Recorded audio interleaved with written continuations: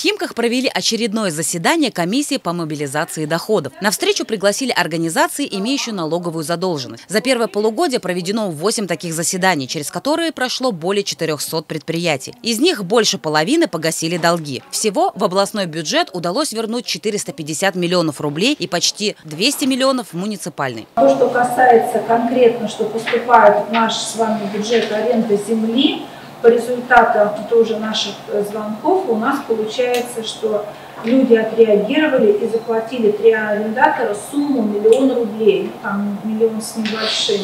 То есть мы наблюдаем, что все-таки Наши комиссии действенны, приносят пользу, и поэтому продолжим работать с вами в том же направлении. Также Наталья Гурьева поручила начальникам территориальных управлений пристально следить за организациями на территории своих микрорайонов, чтобы вовремя выявлять должников.